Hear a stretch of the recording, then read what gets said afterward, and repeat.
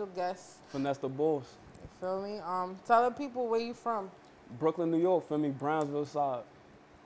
Brownsville side. So Brownsville kind of mixy on the music tip. Yeah, Brownsville been mixing the music.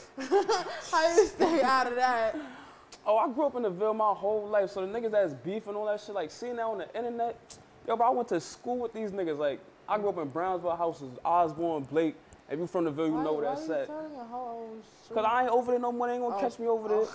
And feel me, I love the Ville. Shout out all my Ville niggas for me. Love all y'all for me. It's always love in the hood for me, wherever it's at.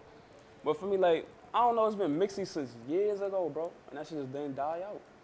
It has been mixy for a long time. I think the internet made it worse Cloud. because it was never th- that crazy. Nah, it was, yo. Back in my day. Bro, no, you don't feel like internet made it worse though? Nah, 'Cause yo, cause even though that shit been happening, it's now on Instagram, Facebook. Now the niggas is embarrassed. Now he want to spin back, but he probably wouldn't have spent back. But that shit been on the internet. Facebook. It's like it's because niggas can go live now. It ain't the posting on, it's the live. Cause when they go live, they can talk all that shit. Like, Real time. Yeah, like, Ain't no real and you got niggas respond. You got the comments. It be the comments. it be yo Okay. boy. So, finesse, how did you get your name? Like, what's the story? Yo, I've been finesse since 10th grade. So I know funny shit. I was like 16. I just had tatted on my arm, and finesse just came from everything I did. Like I did it like through skill. With something I wanted to do gracefully. I always wanted to help, assist some. I always wanted to be the best. Like so, when I took the word finesse to me, like people use the word finesse and think it's supposed to mean slime. Like supposed to zoe somebody, steal some shit. Like you supposed to do something like that. But I took the word and made it to like, nah. It's more like how I could put in the words for y'all. Like, it's oh. doing shit with skill. It's doing shit like making it look popping. Like, Oh, yeah, I get, I get what you're saying. I get what you're saying. like if you look up finesse on the internet, it means like intricately defined. Like, yeah. Like intricate. Like, say son that's. Okay, so you did your me? homework Hell behind yeah, I love name being finesse. I love finesse, man. before you like started pushing it. You did your homework. I Oh, see. OD, OD. I see, I see, I see. It's the brand. You gotta brand yourself nowadays. You gotta brand yourself. I see, I see, I see. So who was you listening to growing up? Oh, I was listening to everybody. I was listening to 50 Cent, Jay Z. I love listening to Lil Wayne. So I fuck with Meek Mill. That's one of my top five. Pop, So Ice Cube. Like I got an old soul. Yeah, but they, those mad old people. Yeah, like rest in peace DMX. Like rest in You're in not peace listening DMX. to none of the new people. Like these days, hell y'all listen to I listen to the Yo, the Siggy Black. I listen to um, Max the Demon. I'm trying to shout out niggas who I listen to. I listen to um, Future, Durk. Who rapping? Okay, just making sure, cause he said mad old. Nah, cause I listen. I listen to the new music. For me, it's it's, it's fire. Okay, So, okay. So would you say? Who would you say inspired you musically, or inspired your sound, or? inspired me musically. Yeah. Mm. See, I just say, and people don't like to give it. I say Meek Mill and Tupac, like, cause overall, like through my years of rapping and making music, like those Uh-huh. two artists I would listen to for days on days on days. I would sit in my room all day, play Meek Mill old albums, DC One, Flamers and shit like that. So like they always and they stories is what spoke to me like overall. Like always Meek's story damn near matched my whole life and shit. So Okay, so they inspired you. T- they inspired you by, cause they was inspiration, right? yeah. Okay, so like, um. Okay, so who's some artists you would want to work with? Also, I want to work with. And these days, These if I could, any times? artist, Yeah. I, I want to work with Meek Mill. Off the time. I'ma keep saying Meek. They probably gonna be like, this nigga's a Meek fan. Look, a lot of niggas is Meek fans. A lot of niggas. For me, ain't nothing. For me, my son real nigga. But I do some of my son Meek. If I could, I go on the track with um Durk. I go on the track with. So I want to do some shit with probably like Uzi. I want to do some shit. Probably like with Fivio, son. I fuck with my son. Okay, so all the people you pretty much said already. Yeah, For for the most like part. For the most part. So, um, what kind of music would you say you make? type of music I make. That's a good question. Cause everybody, well, New York on that drill shit now, Yes. and I don't really, my music not type of drill shit. I guess like, I try to describe it as motivation music. Like the way I tell my story when I'm writing, when I'm writing that shit down, I'm spitting it out. It's more like, it ain't like you gotta spin a block on 50 ops. It's, it's more so, for real though, it's more so like what you doing after that. Like it's more so like what's the pain and the feeling you get. Like Cause Okay. niggas make that street shit like it's some cute shit and like this niggas happy when they go on and shoot the ops. Like I be G Trill. Ain't no nigga that went on a mission really sat in the V, smiling, spinning a block. And I mean that shit like, like anybody watching this shit, if you sat in the V, you know damn well you was not smiling, happy. Like, so you making music for them people that's like thinking about the repercussions? Nah, I'm making music for the people that I, I gotta get a, the real understanding to it, cause everybody make that gun shit sound like that's the way. Like it's it's a way to be a street nigga Okay. and not be a dumb street nigga type of Yeah, thing. I think And- it's a, it's not a lot of those, but there, there are those out there. shit, I can't. Shit.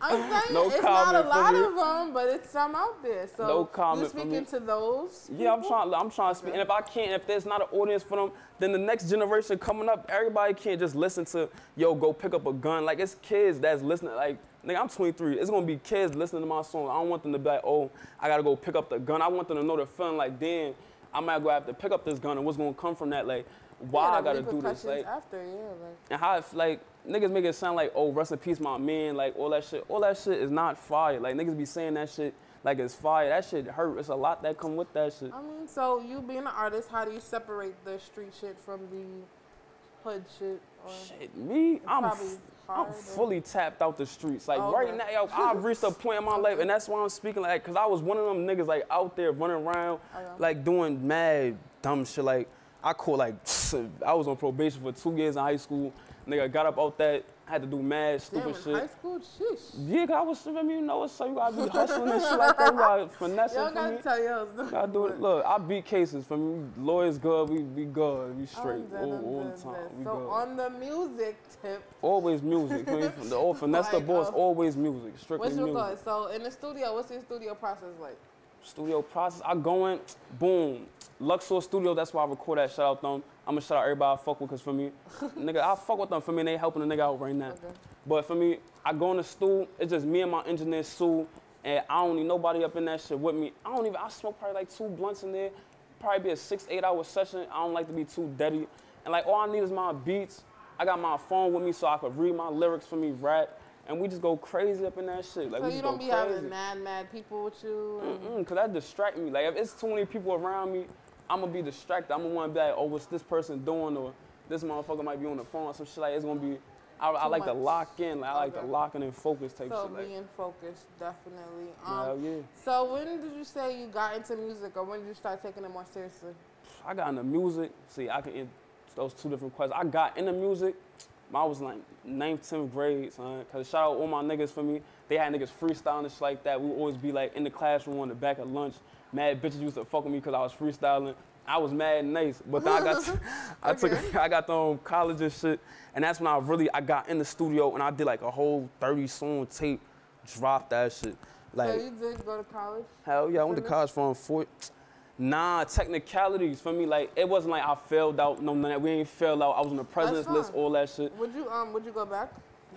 If I could, have, yeah, cause I had one year left. It was the fees and shit. Like college expensive, kids. If you get if you get a scholarship, get a scholarship for me. Like college expensive. like that's the only reason why I ain't there. Like Okay, okay. for real, for real. Like, Do you feel like it's worth it?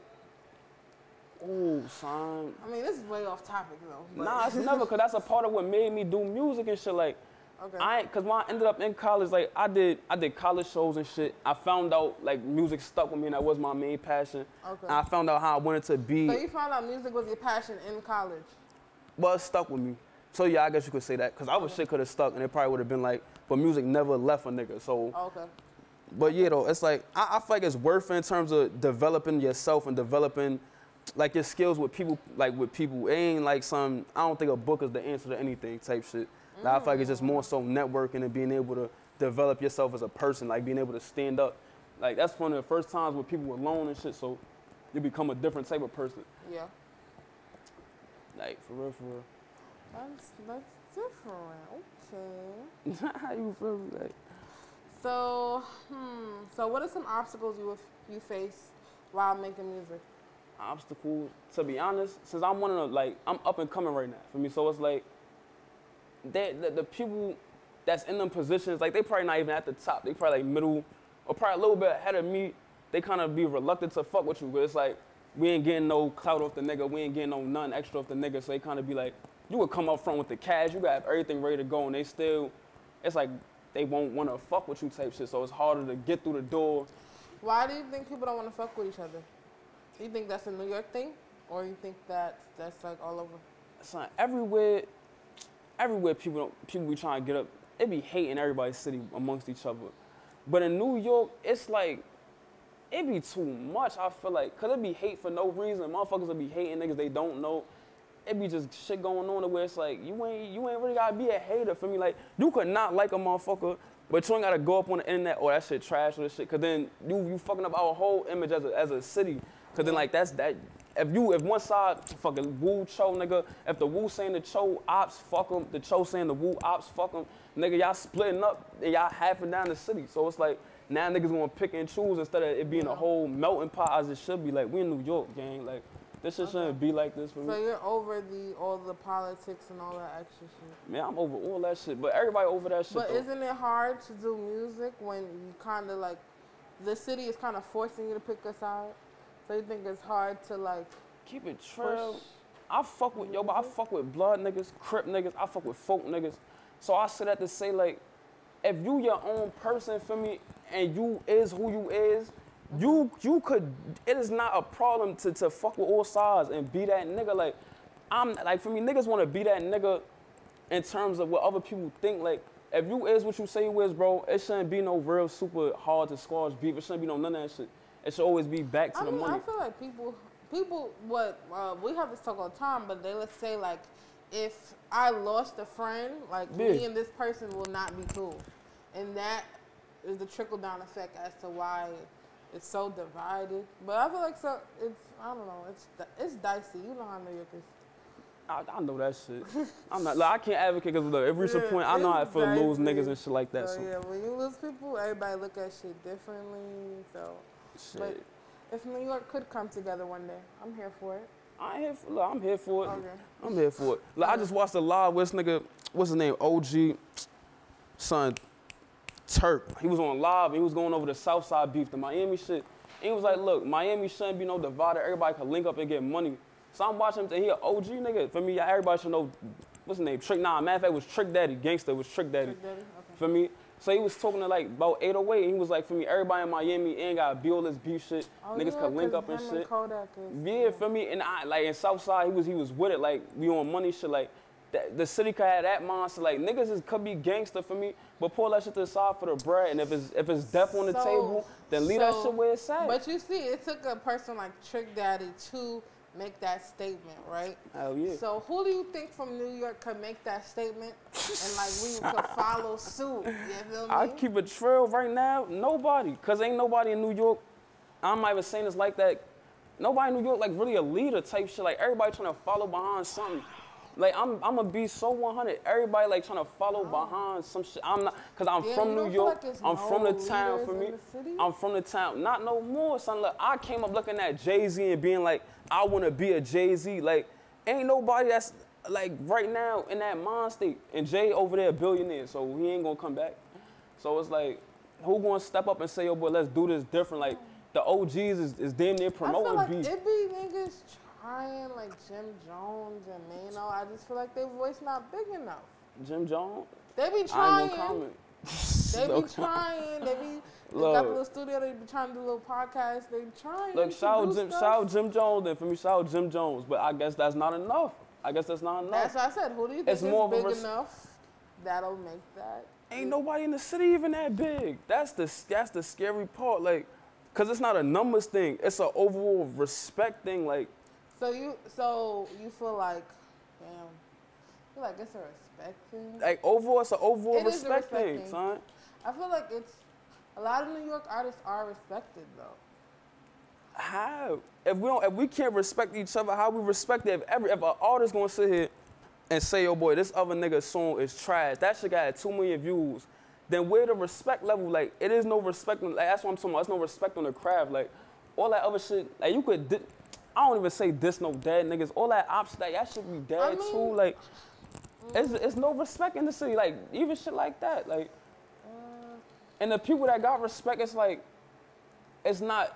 It's from their side type of shit. Like it's not fully. It's not fully from both sides. And so it's always gonna be that. It's gonna be a butt head because it's always gonna be somebody that's trying to be. I'm top boss here. I'm top boss over here, and it's always gonna be. Kind of like the king of the city whole argument thing. And that shit always come back up.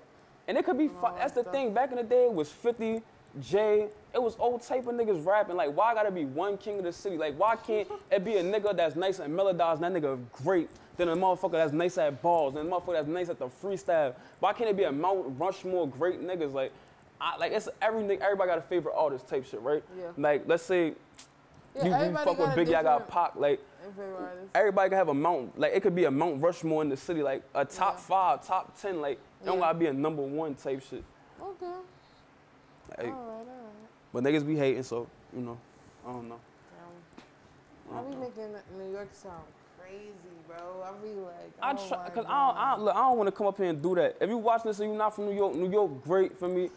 Like New York is great. you. New York is fantastic. I love the city. This home for me. I love the city.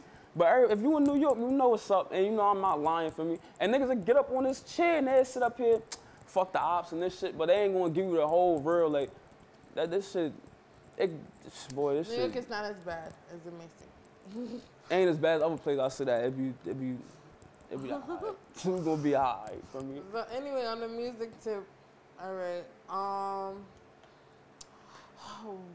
what would you say? Like, what's your beat selection like when like you looking at beats? I ain't gonna hold you. I be on. I just click the first shit that's fire, and actually producers been sending me beats now in my Okay. email. Like shout out to them niggas. So for me, but like overall, I just go through every beat. I just be typing in random shit, and then I'll just click and start listening, and like I get a beat 10 seconds. If that shit don't catch me in 10 seconds, I'm off that shit. But if it catch me, I'm swear to God, like if it That's catch it? me in them 10 seconds, like I'm on that shit, and I finish out the whole beat. It probably might take me a half hour. Sometimes I be busting out song. I get son on shorty like I get like eight nine songs done probably like two hours. And that's just sitting there writing like me locked in. Okay. I ain't gonna talk like I don't That's smoke a shit when I write. Eight, nine, four, two hours. That ain't not. That's not a lot. Like me and a, Eight to nine.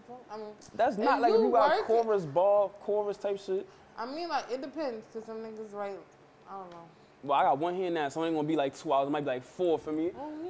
But for me, it's gonna it's gonna get done type shit. It's gonna get done for me.